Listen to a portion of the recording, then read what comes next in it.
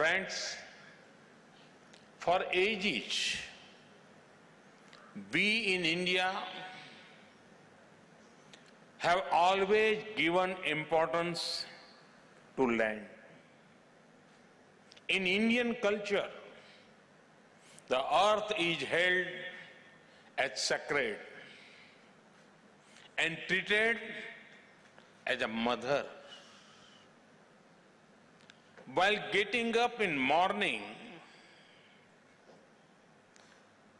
when we touch the earth with our feet, we seek forgiveness of Mother Earth by praying Samudravasane Devi Parvatastana Mandale Vishnupatni Namastubhyam Padasparsam Kshamaswame. Friends, climate and environment impact both biodiversity and land. It is widely accepted that the world is facing the negative impact of climate change. This is seen in a loss of land and plants and animal species facing threats of becoming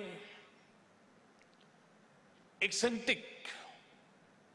Climate change is also leading to land degradation of various kinds, be it due to rise in sea levels and wave action, erratic rainfall and storms, and sandstorms caused by hot temperatures. Ladies and gentlemen, India has hosted global gathering through the COP for all the three conventions.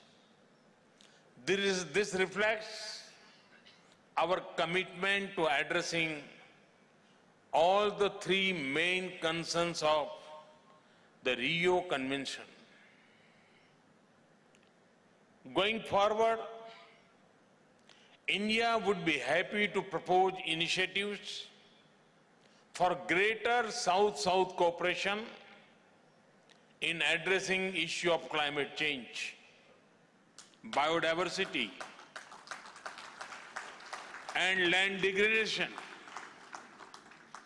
Friends, you will be shocked to know that desertification affects over two thirds of the countries of the world. This makes a compelling case for action on land front. Combine this with the water crisis facing the world. Because when we address degraded lands, we also address water scarcity. Augmenting water supply, enhancing water recharge, slowing down water runoff, and retaining moisture in the soil are all parts of a holistic land and water strategy.